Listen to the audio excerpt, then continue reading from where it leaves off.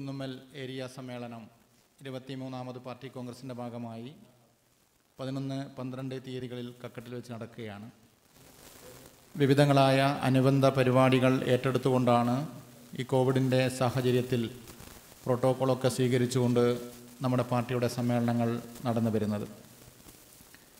കോഴിക്കോട് ജില്ലയിൽ സുരക്ഷ പാലിയേറ്റീവ് പ്രവർത്തനങ്ങൾ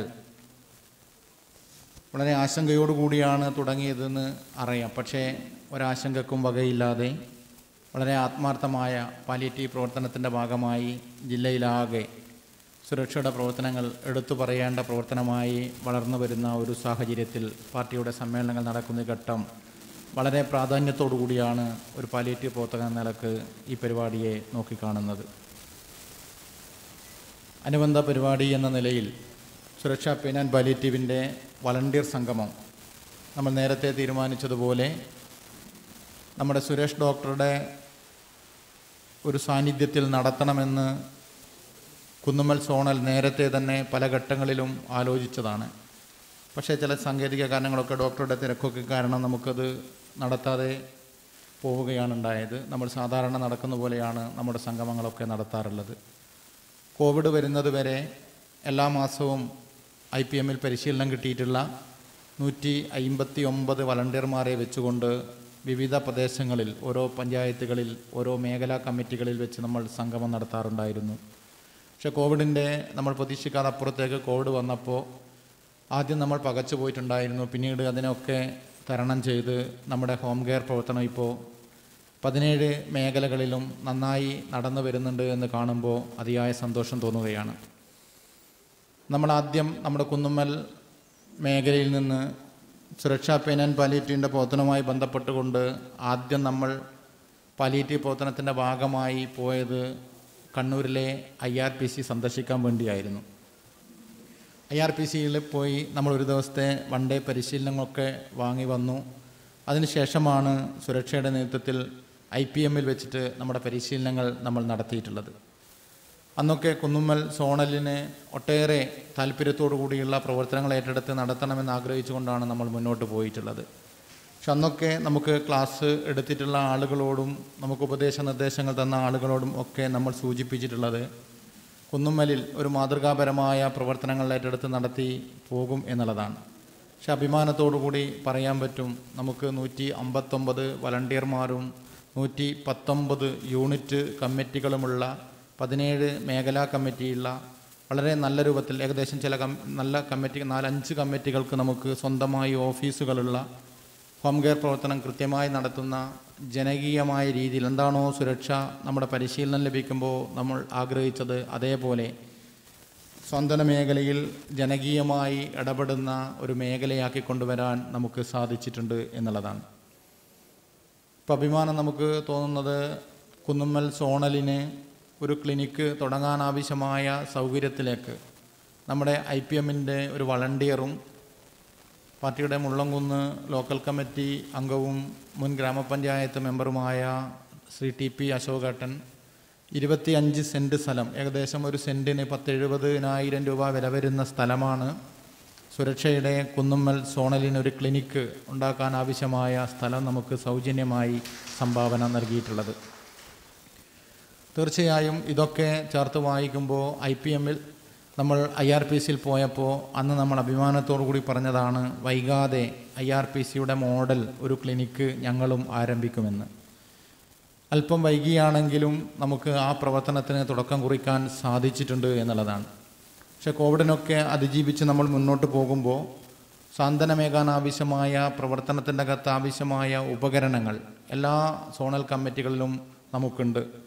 ഔദ്യോഗിക പാലിയേറ്റീവായ പഞ്ചായത്ത് സംവിധാനങ്ങളെ കൂടി ഉപയോഗപ്പെടുത്തിക്കൊണ്ട് നമുക്ക് നൂറ് ശതമാനം നമ്മുടെ മേഖലയിലുള്ള കിടപ്പ് രോഗികളെ പരിചരിക്കാനാവശ്യമായ സാന്ത്വനമേകാനാവശ്യമായ പദ്ധതികൾ പ്ലാൻ ചെയ്തുകൊണ്ട് നമുക്ക് മുന്നോട്ട് പോകാൻ സാധിക്കണം എന്നുള്ളതാണ് ഈ സന്ദർഭത്തിൽ സൂചിപ്പിക്കാനുള്ളത്. നമ്മുടെ പരിപാടി ഔപചാരികമായി ഉദ്ഘാടനം ചെയ്യുന്നത് പാലിയേറ്റീവ് പ്രസ്ഥാനത്തിന്റെ എക്കാലത്തെയും അമരക്കാരൻ ഡോക്ടർ സുരേഷ് കുമാറാണ്. ഡോക്ടറെ നിങ്ങളുടെ മുമ്പിൽ പരിചയപ്പെടുത്തേണ്ട ഒരു ആവശ്യവുമില്ല എന്നുള്ളത് കൊണ്ട് തന്നെ കൂടുതൽ കാര്യങ്ങൾ പറയാൻ ഞാൻ ആഗ്രഹിക്കുന്നില്ല. വളരെ കൂടി സുരേഷ് ഡോക്ടറെ ഈ പരിപാടി ഔപചാരികമായി ഉദ്ഘാടനം ചെയ്തുകൊണ്ട് പാലിയേറ്റീവ് രംഗത്തെ പ്രവർത്തനങ്ങളെ ഒന്നുകൂടി നമുക്ക് ആവേശത്തോടു കൂടി ഏറ്റെടുത്ത് നടത്താൻ ആവശ്യമായ ഒരു ക്ലാസ് കൂടി അദ്ദേഹത്തിന്റെ ഭാഗത്തുണ്ടാകും ഉദ്ഘാടനത്തിൽ. തീർച്ചയായും അത് ഉദ്ഘാടനം ചെയ്യുന്നതിന് വേണ്ടി സുരേഷ് ഡോക്ടറെ വളരെ സ്നേഹത്തോടു കൂടി ക്ഷണിച്ചുകൊണ്ട് ഞാൻ എന്റെ അധ്യക്ഷ പ്രഭാഷണം അവസാനിപ്പിക്കുന്നു. എല്ലാവർക്കും അഭിവാദനങ്ങൾ. കുറേ കാലത്തിന് ശേഷം നമ്മൾ എല്ലാവരും കാണുകയാണ് നിങ്ങൾ ഒരു ഏകദേശം എല്ലാവരും തന്നെ ഐ പി എമ്മിൽ വന്നിരുകയും വരികയും നമ്മൾ ക്ലാസ്സുകളൊക്കെ എടുക്കുകയും ചെയ്തതാണ്. അപ്പോൾ എല്ലാവരും ഒന്നിച്ചിവിടെ വന്ന് കാണാൻ ഇടയായതിൽ ഒരുപാട് സന്തോഷമുണ്ട്. ഇങ്ങനെ ഒരു പരിപാടി ഉണ്ട് എന്ന് പറഞ്ഞിട്ട് കുഞ്ഞാവുതുട്ടി മാഷാണ് എന്നെ വിളിച്ചത്. അപ്പോൾ തന്നെ ഞാൻ വളരെ സന്തോഷപൂർവം ഏൽക്കുകയത് കാരണം ഒന്ന് നമ്മൾ ആ സുരക്ഷയുടെ ഭാഗമായിട്ട് പരിശീലനം എടുത്തതിൽ ഏറ്റവും വലിയ സംഘം ഈ മരുതാങ്കര കുന്നുമൽ ഭാഗത്തു നിന്നുള്ള ആൾക്കാരാണ്.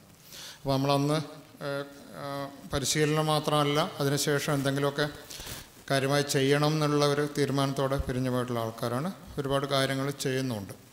അപ്പോൾ ഒന്നും കൂടി എല്ലാവരും കാണുകയും എന്തൊക്കെയാണ് നടക്കുന്നതെന്നുള്ളതിനെ പറ്റി ആലോചന നടക്കുകയൊക്കെ ചെയ്യുന്നതിലുള്ള ഒരു സന്തോഷമുണ്ട്. നമുക്ക് മറ്റ് വിഭാഗങ്ങൾ മറ്റ് ആക്ടിവിറ്റി പോലെ തന്നെ നമുക്ക് ഒരു ബുദ്ധിമുട്ടുണ്ടായിരുന്ന കാലമാണ് കഴിഞ്ഞ രണ്ട് കൊല്ലം.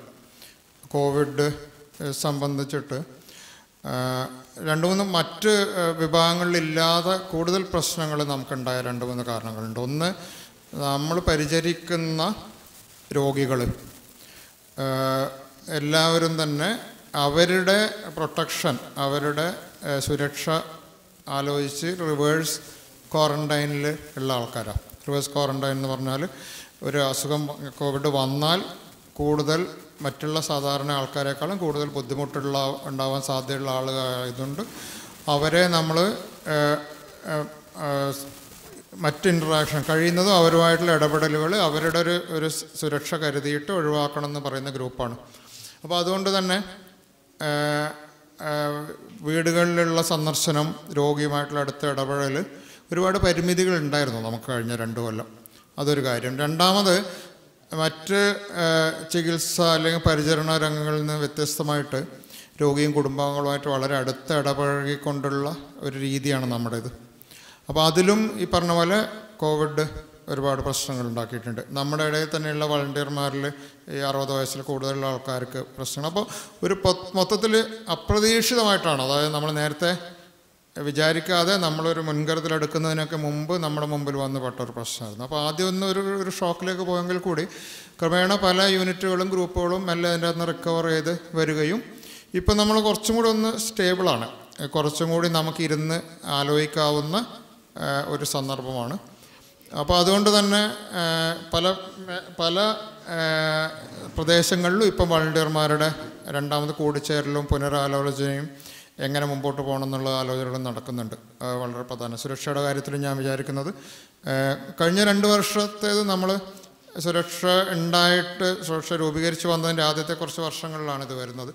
അപ്പോൾ അതുകൊണ്ട് തന്നെ പക്ഷേ നമ്മൾ കഴിഞ്ഞ രണ്ട് വർഷത്തെ ആക്ടിവിറ്റി സുരക്ഷയ്ക്ക് എന്ത് സാധ്യമാവും എന്നുള്ളതിന്റെ വളരെ ചെറിയ ഒരു അംശം മാത്രമേ നമുക്ക് പുറത്ത് കാണിക്കാൻ പറ്റുള്ളൂ. നമ്മുടെ ഒരു പരിമിതി നമ്മുടെ നമ്മുടെ പരിമിതിയല്ല ആ പറഞ്ഞ കോവിഡുമായിട്ട് ബന്ധപ്പെട്ട ഒരുപാട് പരിമിതികൾ വന്നിട്ടാണ്. ഇപ്പോൾ ഇനിയാണ് നമ്മളത് അത് ഒന്നും കൂടി കൃത്യമായിട്ട് മുമ്പോട്ട്. അതിനൊരു ഒരു മെച്ചമുണ്ട് അതായത് ഇതൊരു ഒരു ചലഞ്ചായിരുന്നു. ഇത് നമ്മൾ ഒരു ഒരു സംഗതികൾ ഏകദേശം പിടിയിട്ട് വന്ന സമയത്താണ് കാര്യങ്ങളെപ്പറ്റി ഏകദേശം ഒരു ധാരണ നമുക്ക് ഫീൽഡിൽ ഉണ്ടായിട്ടുണ്ട്. അപ്പോൾ ഇനി ഇനിയുള്ള ഒരു സമയം ഞാൻ വിചാരിക്കുന്നത് നമ്മൾ കൃത്യമായിട്ടൊന്ന് പ്ലാൻ ചെയ്തിട്ട് നമ്മൾ ഏതായാലും ഇതിൽ ഇറങ്ങിത്തിരിച്ച സ്ഥിതിക്ക് അത് വൃത്തിയായിട്ട് എങ്ങനെ ചെയ്യാം എന്നുള്ളതിനെപ്പറ്റി ഒന്നും കൂടി ആലോചിക്കാവുന്ന ഒരു സമയമായിട്ട് കണക്കാക്കണം. ഇത് സ്വന്തം താല്പര്യപ്രകാരം ഇറങ്ങി വന്നിട്ടുള്ള ആൾക്കാരാണ്. സ്വന്തം താല്പര്യപ്രകാരം നിങ്ങൾ ആരും നിർബന്ധിച്ചിട്ട് ഇത്തരമൊരു പരിചരണ രംഗത്തേക്ക് വന്നതല്ല നിങ്ങൾ നിങ്ങളുടെ ഒരു സ്വന്തം താല്പര്യപ്രകാരം ഇത് ചെയ്യുന്നത് കൊണ്ട് നാട്ടുകാർക്കൊരു ഗുണമുണ്ടാവും അല്ലെങ്കിൽ ചെയ്യുന്നത് കൊണ്ട് ഒരുപാട് രോഗികൾക്ക് മെച്ചമുണ്ടാവും എന്ന് വിചാരിച്ചിട്ട് വന്നതാണ്. അപ്പോൾ അതുകൊണ്ട് തന്നെ അതിന്റെ ഒരു ക്വാളിറ്റി അതിന്റെ ഒരു ഗുണനിലവാരം മെച്ചപ്പെട്ടതാക്കാനുള്ള ഉത്തരവാദിത്വം നമുക്ക് തന്നെയാണ്.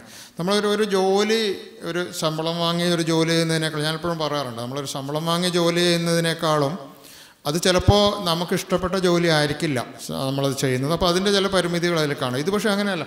ഇത് നമുക്ക് നമ്മുടെ താല്പര്യം കൊണ്ട് വന്നിട്ടുള്ള അപ്പോൾ നമ്മുടെ താല്പര്യം കൊണ്ട് വന്നിട്ടുള്ളതാകുമ്പോൾ നമ്മുടെ മാക്സിമം എഫേർട്ട് ഏറ്റവും ഇത് വൃത്തിയായിട്ട് ചെയ്യാൻ വേണ്ടി മാക്സിമം എഫേർട്ട് ഇതിൽ എടുക്കേണ്ടതുണ്ട്.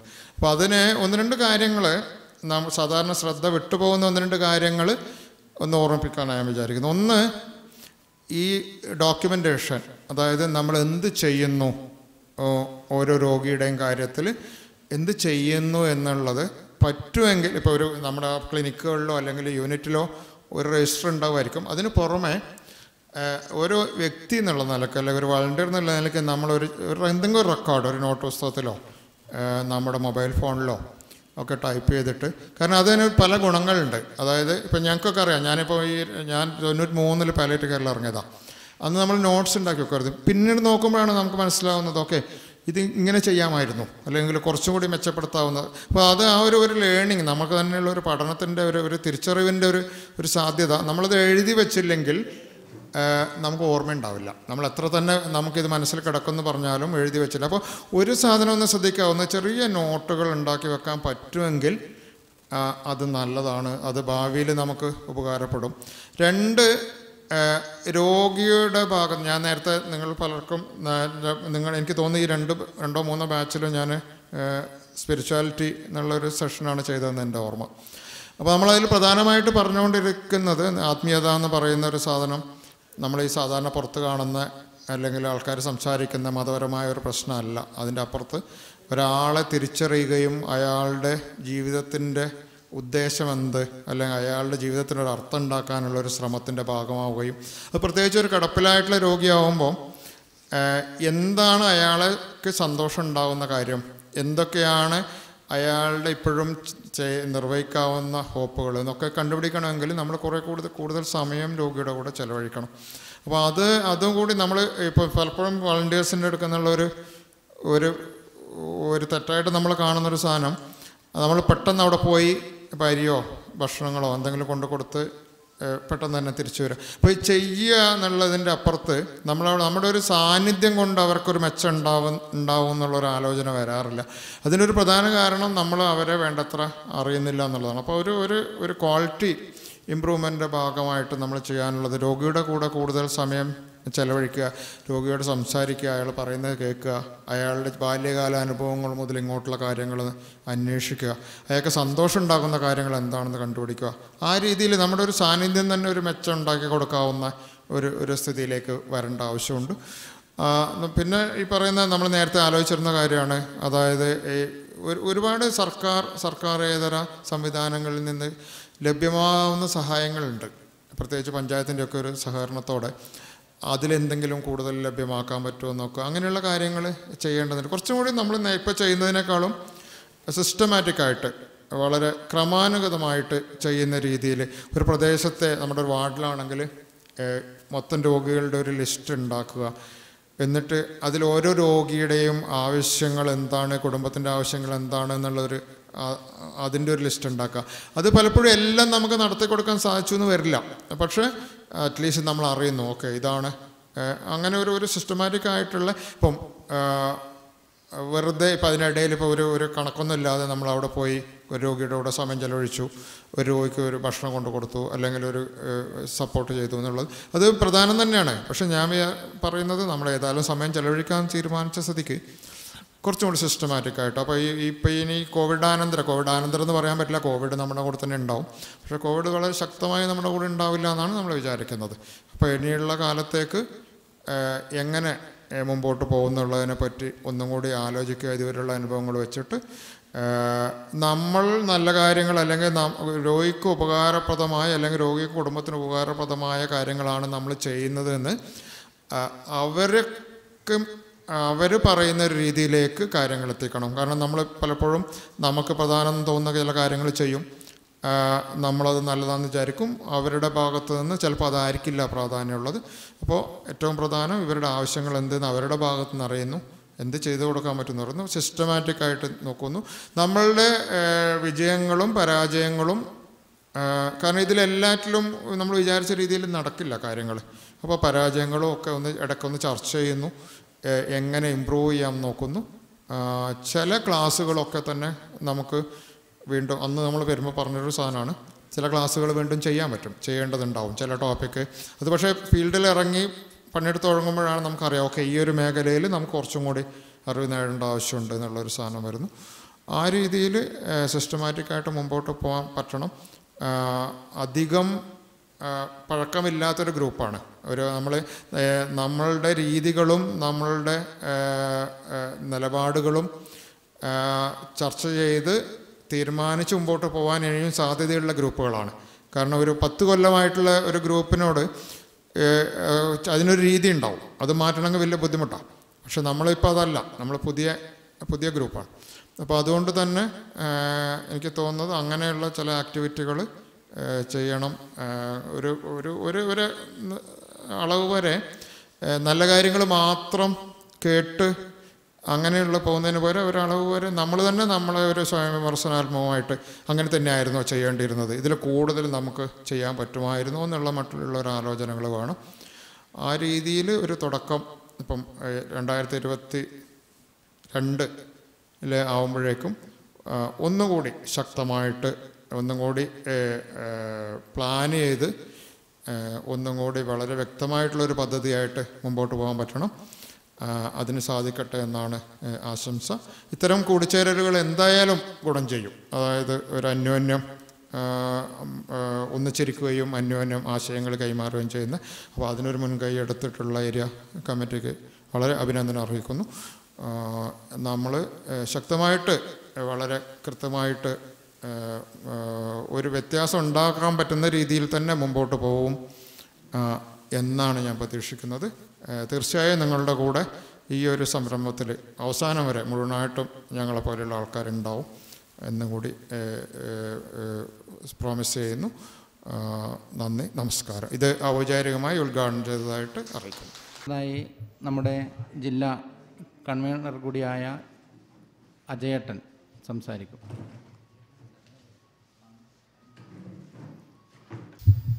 സുരക്ഷ മൂന്ന് വർഷം പിന്നിട്ടു. രണ്ടാ ആയിരത്തി രണ്ടായിരത്തി പതിനെട്ടിലാണ് ആഗസ്റ്റ് മാസത്തിലാണ് സുരക്ഷ കോഴിക്കോട് ജില്ലയിൽ രൂപപ്പെട്ടത്. ഇന്നത് കോഴിക്കോട് ജില്ലയിലെ ആർക്കും അവഗണിക്കാനാവാത്ത സാന്ത്വന പരിചരണ രംഗത്തെ വളരെ പ്രബലമായിട്ടുള്ള ഒരു സംവിധാനമായി മാറിയിരിക്കുന്നു. ആദ്യം അതിന് മാതൃകയായിട്ടുള്ള പ്രവർത്തനം നടത്തിയിട്ടുള്ളത് കുന്നുമൽ ഏരിയയാണ് കുന്നുമ്മൽ സോണലാണ്. കുന്നുമ്മൽ സോണലിലെ പ്രവർത്തകരെ അതിന് ഈ ജില്ലയിലുള്ള സാന്ത്വന പരിചരണ രംഗത്തുള്ള സുരക്ഷയുടെ പ്രവർത്തനത്തിന് മുന്നോട്ട് പോക്കിന് നല്ല രീതിയിലുള്ള ഒരു പ്രോത്സാഹനമായി മാറുന്ന രീതിയിലുള്ള പ്രവർത്തനം നടത്തിയിട്ടുള്ള ജില്ലയിൽ ഈ കുന്നുമ്മൽ സോണലിലെ സാന്ത്വന പരിചരണ പ്രവർത്തകരെ സുരക്ഷയുടെ സാന്ത്വന പരിചരണ പ്രവർത്തകരെ ആദ്യമായിട്ട് അഭിവാദ്യം ചെയ്യുകയാണ്. അതോടൊപ്പം തന്നെ അതോടൊപ്പം തന്നെ നമ്മുടെയൊക്കെ തന്നെ മനസ്സിലുള്ള സാന്ത്വന പരിചരണത്തിന്റെ തുടർ പ്രവർത്തനത്തിന്റെ ഭാഗമായിട്ട് നമ്മുടെയൊക്കെ തന്നെ മനസ്സിലുള്ള ഒരുപാട് പദ്ധതികളുണ്ട്. നമുക്കറിയാം ഡോക്ടർ ഇവിടെ തുടങ്ങി വെച്ചു പറഞ്ഞു വെച്ചു. സാന്ത്വന പരിചരണം ഒരു ഘട്ടത്തിൽ അവസാനിക്കുന്നില്ല. അത് നമ്മൾ അതിലേക്ക് ഇറങ്ങി ചെല്ലുന്നതോറും അത് കൂടുതൽ വിപുലമാക്കപ്പെടുകയും കൂടുതൽ ആഴത്തിലേക്ക് കടന്നു ചെല്ലുകയും ചെയ്യുന്നു എന്നാണ് സാന്ത്വന പരിചരണം നമ്മൾ ദുർബലരും അതുപോലെ തന്നെ പാർശ്വവൽക്കരിക്കപ്പെട്ടതുമായിട്ടുള്ള സമൂഹത്തിലുള്ള ആളുകളെ സംബന്ധിച്ചിടത്തോളം അവരെ ഉയർത്തിപ്പിടിക്കുന്ന അവരെ ഉയർത്തിക്കൊണ്ടുവരുന്ന സാമൂഹ്യ പ്രവർത്തനമാണ് ഏറ്റവും വലിയ പ്രവർത്തനമെന്നാണ് ജോൺ പോൾ മാർപ്പാപ്പ രണ്ടാമൻ പറഞ്ഞിട്ടുള്ളത്. ഞാൻ ജോൺ പോൾ മാർപ്പാപ്പേനടുത്ത് പറയുകയല്ല നമ്മളെ സംബന്ധിച്ചിടത്തോളം കേരളത്തിന് അഭിമാനകരമായ രീതിയിൽ ലോകത്തിന് തന്നെ മാതൃകയായിട്ടുള്ള രീതിയിൽ പാലിയേറ്റീവ് പ്രസ്ഥാനത്തെ ഉയർത്തിക്കൊണ്ടുവന്ന സുരേഷ് ഡോക്ടറെ പോലെയുള്ള ആളുകൾ ഇവിടെ ഇരിക്കുന്ന സമയത്ത് നമുക്ക് വളരെയേറെ അഭിമാനമുണ്ട്. അതോടൊപ്പം തന്നെ നമുക്കറിയാം സുരേഷ് ഡോക്ടറെ പോലുള്ളവരാണ് ലോകത്തിന് മുമ്പിൽ പാലിയേറ്റീവ് പ്രസ്ഥാനത്തിന് പുതിയ പാലിയേറ്റീവ് പ്രസ്ഥാനത്തിന് തുടക്കമിട്ടതെങ്കിൽ ഇതിനൊക്കെ തന്നെ കുറേ കൂടി മുമ്പ് പാലിയേറ്റീവ് പ്രസ്ഥാനത്തെപ്പറ്റി ആലോചിക്കപ്പെടുന്നതിന് മുമ്പ് കാലത്തിന് മുമ്പ് അന്ന് പ്രതിരോധ മരുന്നുകളും വാക്സിനുകളും ലഭ്യമല്ലാത്ത ഒരു കാലഘട്ടത്തിൽ ആ ഇതിലും മാരകമായിട്ടുള്ള മഹാമാരിക്ക് മുമ്പിൽ മരിച്ചു വീഴുകയല്ലാതെ മറ്റൊരു ഗതിയുമില്ലാത്തൊരു കാലഘട്ടത്തിൽ അങ്ങനെ മഹാമാരി പിടിപെട്ട ആൾക്കൂട്ടത്തിനിടയിലേക്ക് കടന്നു ചെന്നുകൊണ്ട് അവരെ ശുശ്രൂഷിക്കണമെന്ന് പറഞ്ഞിട്ടുള്ള സഖാവ് കൃഷ്ണപിള്ളയെപ്പോലുള്ള മഹത്തായ പാരമ്പര്യമുള്ള ഇപ്പോൾ നമുക്കറിയാം പാർട്ടിയുടെ സമ്മേളനവുമായി ബന്ധപ്പെടുത്തിയിട്ട് അതിന് മുന്നോടിയായിട്ടാണ് നമ്മളിപ്പോൾ ചേർന്നുകൊണ്ടിരിക്കുന്നത്. അതിന്റെ കൂടി പാരമ്പര്യമുള്ള ആളുകളാണ് നമ്മൾ. സുരേഷ് ഡോക്ടർ എപ്പോഴും പറയാറുണ്ട് നിങ്ങൾ വേറെ ആര് എന്ത് പാലിയേറ്റീവ് പ്രവർത്തനം നടത്തിയാലും പ്രശ്നമില്ല. സുരക്ഷയ്ക്ക് സുരക്ഷയുടേതായിട്ടുള്ള ഒരിടം പാലിയേറ്റീവ് രംഗത്ത് ബാക്കി നിൽക്കുന്നുണ്ട്. കാരണം നമ്മളെപ്പോലെ മാനവികത ഉയർത്തിപ്പിടിച്ചുകൊണ്ട് മത തീവ്രവാദത്തിന്റെയും അതുപോലെ തന്നെ ആളുകളെ ഭിന്നിപ്പിക്കുന്ന ആശയത്തിന്റെയും ഒക്കെ വ്യക്താക്കളായിട്ടുള്ള ആളുകൾ പലപ്പോഴും മുഖംമൂടി അണിഞ്ഞുകൊണ്ട് ഇത്തരം മേഖലകളിൽ കടന്നു വരുമ്പോൾ മാനവികതയുടെ മാനവികത ഉയർത്തിപ്പിടിച്ചുകൊണ്ട് ഈ രംഗത്ത് പാലിയേറ്റീവ് രംഗത്ത് കടന്നു വന്നിട്ടുള്ള ഒരു ആളുകളാണ് നമ്മൾ. നമ്മളെ സംബന്ധിച്ചിടത്തോളം പാലിയേറ്റീവ് രംഗത്ത് കടന്നു വന്നിട്ടില്ലെങ്കിലും ദൈനംദിന പ്രവർത്തനത്തിന്റെ ഭാഗമായിക്കൊണ്ട് നമ്മൾ അതുപോലുള്ള പ്രവർത്തനങ്ങൾ ഏറ്റെടുത്തുകൊണ്ട് മുന്നോട്ട് പോകുന്ന ആളുകളാണ്.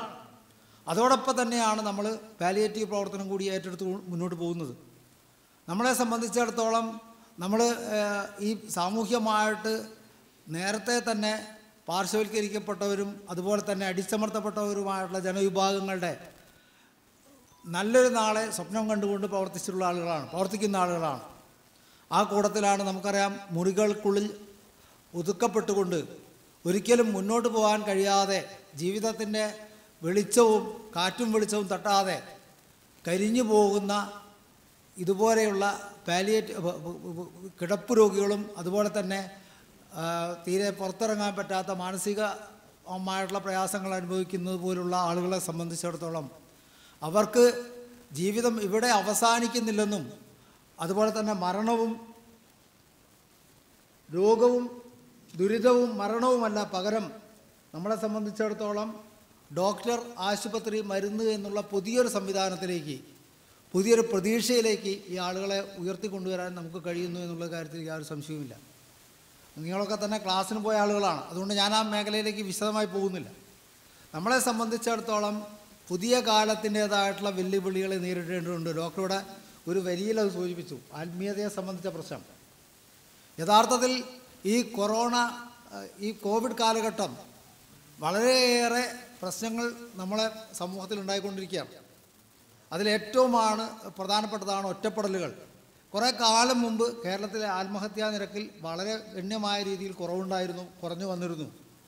എന്നാൽ ഇപ്പോഴുള്ളൊരു സ്ഥിതി എന്താണ്? നിങ്ങളൊന്ന് ആലോചിച്ച് നോക്കൂ. നമ്മൾ വളരെ മുന്നോട്ട് പോയിട്ടുള്ളൊരു സമൂഹമാണ്. കേരള രാജ്യത്ത് ദാരിദ്ര്യത്തിന്റെ കാര്യത്തിൽ ഏറ്റവും കൂടുതൽ ദാരിദ്ര്യ നിർമ്മാർജന പ്രവർത്തനം നടത്തുകയും ഒന്നാമതായിട്ടുള്ള സംസ്ഥാനമാണ് കേരളം ആ പ്രവർത്തനത്തിൽ.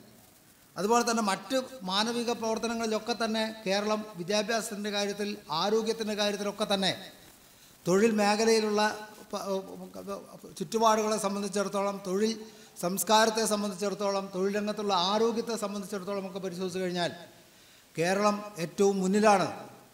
അങ്ങനെ കേരളം മുന്നിലാണെന്ന് നമ്മൾ അവകാശപ്പെടുമ്പോഴും നമ്മളെ പെൺകുട്ടികൾ അല്ലെങ്കിൽ നമ്മുടെ സമൂഹത്തിലുള്ള കുടുംബങ്ങൾ കൂട്ടാത്മഹത്യയിലേക്ക് പോകുന്നു. പെൺകുട്ടികൾ സ്ത്രീധന മരണവുമായി ബന്ധപ്പെടുത്തിക്കൊണ്ട് നമുക്കറിയാം ഈ അടുത്ത ദിവസങ്ങളിലും കൂടി ഉണ്ടായിട്ടുള്ള ഒട്ടേറെ സംഭവവികാസങ്ങൾ എന്താണ് ഈ ആളുകൾക്ക് സംഭവിക്കുന്നത്? അതൊരു പ്രധാനപ്പെട്ട വിഷയമാണ്. നമ്മൾ ഈ പാലിയേറ്റീവ് പ്രവർത്തനം നടത്തുന്ന നടത്തുമ്പോൾ തന്നെ ഇത്തരം വിഷയങ്ങളെ സംബന്ധിച്ച് കൂടി നമുക്ക് ആലോചിക്കേണ്ടതായിട്ട് വരുന്നുണ്ട്. അപ്പോൾ യഥാർത്ഥത്തിൽ ഈ ആളുകൾ അനുഭവിക്കുന്ന മാനസിക സംഘർഷത്തിന്റെ ഒറ്റപ്പെടലിന്റേതായുള്ള ഒരു പ്രശ്നം സമൂഹത്തിൽ വളർന്നു വരികയാണ്. അപ്പം ഈ- കല്യാണം കഴിച്ച് കൊടുത്തയച്ചുള്ള കുട്ടിയെ സംബന്ധിച്ചിടത്തോളം ആ കുട്ടി വളരെയേറെ പുരോഗമനപരമായി ചിന്തിക്കുന്നതായിരിക്കും. ഡോക്ടറാണ് കഴിഞ്ഞ ദിവസം ആത്മഹത്യ ഒരു കുട്ടി.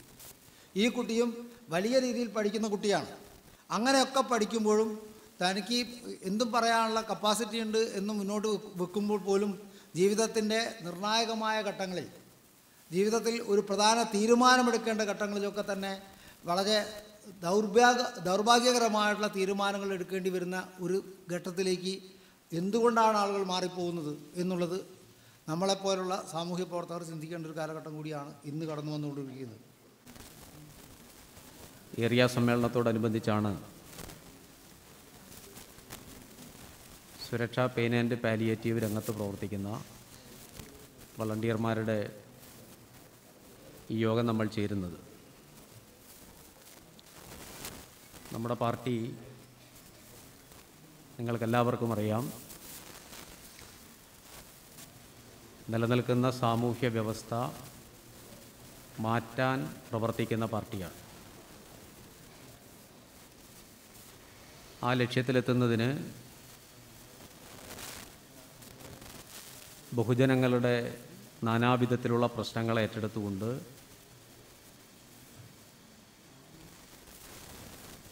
സമര പ്രക്ഷോഭ പ്രവർത്തനങ്ങൾ നടത്തുകയാണ് നാം സാധാരണ ചെയ്തു വരുന്നത്. ആ പ്രവർത്തനത്തിലൂടെയാണ് ആത്യന്തികമായി മനുഷ്യൻ നേരിടുന്ന പ്രശ്നങ്ങൾക്ക് നമുക്ക് പരിഹാരമുണ്ടാക്കാൻ സാധിക്കുക. എന്നാൽ ഇന്നത്തെ സമൂഹത്തിൽ ആ ലക്ഷ്യത്തോടെയുള്ള ഒരു പ്രവർത്തനം മാത്രമല്ല നാം വിഭാവനം ചെയ്യുന്നത്. കഷ്ടപ്പെടുന്നവരെ പ്രയാസം അനുഭവിക്കുന്നവരെ സഹായിക്കുക എന്നുള്ളത് വളരെ പ്രധാനപ്പെട്ട ഒരു പ്രവർത്തനമായാണ് പാർട്ടി കാണുന്നത്. നമ്മുടെ പാർട്ടി ആയിരത്തി തൊള്ളായിരത്തി മുപ്പത്തൊൻപതിലാണ് രൂപം കൊണ്ടതെന്ന് എല്ലാവർക്കും അറിയാം ഇന്ത്യൻ കമ്മ്യൂണിസ്റ്റ് പാർട്ടി. നാൽപ്പതിലാണ് പാർട്ടി പരസ്യ പ്രവർത്തനം ആരംഭിക്കുന്നത്. അന്ന് വളരെ കുറച്ച് മെമ്പർമാർ മാത്രമേ പാർട്ടിക്കുണ്ടായിരുന്നുള്ളൂ. മാത്രവുമല്ല ഭരണകൂടത്തിന്റെ അടിച്ചമർത്തൽ ജാതി ജന്മി നാടുമാഴി മേധാവിത്വത്തിന്റെ അടിച്ചമർത്തൽ എല്ലാം ഉണ്ടായിരുന്നു.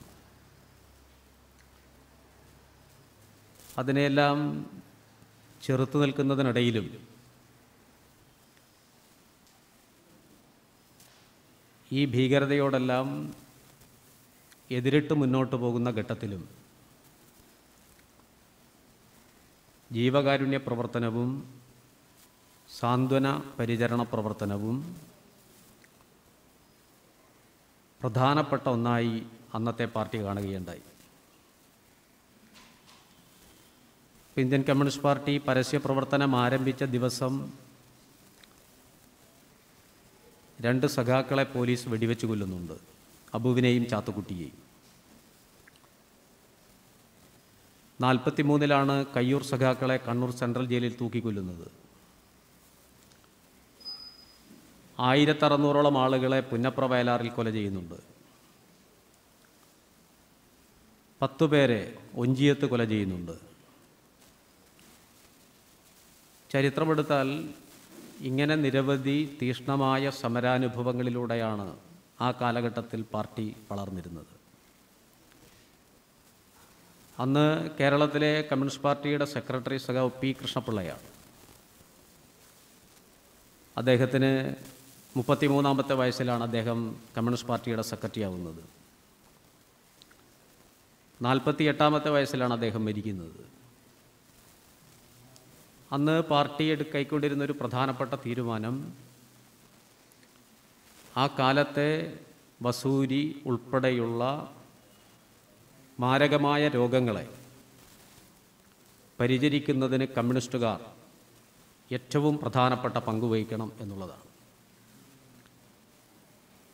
അത് ഏറ്റവും നല്ല നിലയിൽ ഇപ്പോൾ മൊകേരിയിലുള്ള പി കുഞ്ഞിരാമൻ നമ്പ്യാരാണ് ഒഞ്ചിയം മേഖലയിൽ ഈ കാലഘട്ടത്തിൽ പ്രവർത്തിക്കുന്നത്.